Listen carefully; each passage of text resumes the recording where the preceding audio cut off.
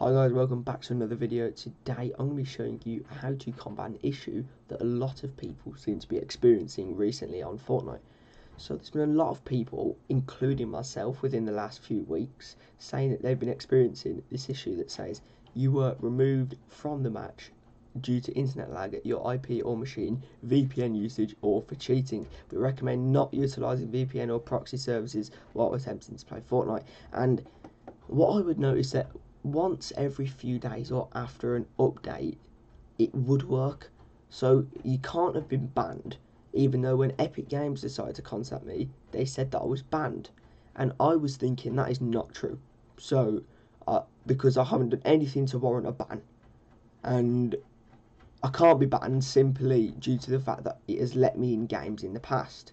So I don't know why I was getting this error, I do know how to fix it now. And unfortunately, for some people, it probably isn't going to be the easiest fix, but a lot of people are getting better at Fortnite at the minute. And at the end of the day, if you want to keep playing and getting better, then it's worth it. So I can play Fortnite now, and this was from a few weeks ago. And yeah, so what you want to do, I'm going to make this very quick and simple. What you want to do is you want to go into your settings and you just want to type here reset.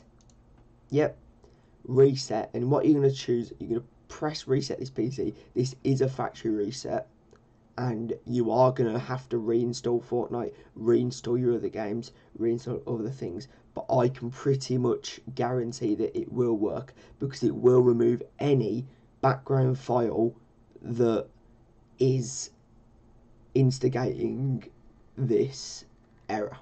So you're going to want to press reset and I'm going to assume that you're not going to want to remove everything from your PC.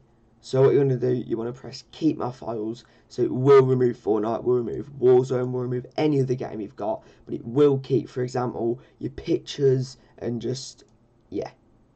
So I'm going to guess that you want to click that. But obviously you can click that if you want. But yeah. It's, it, it has it has worked for me.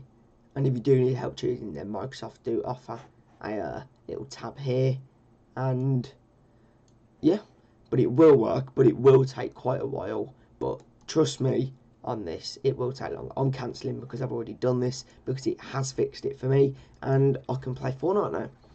So yeah, if you do want more of these videos and if you are getting any other issues, I can try to fix it myself. I've got a lot of time on my hands.